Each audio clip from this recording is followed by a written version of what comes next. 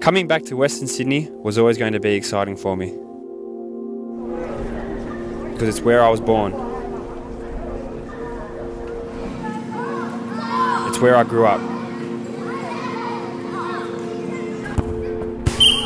And it's where I first learned to play football.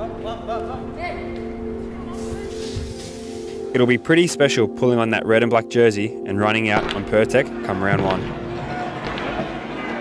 Because now,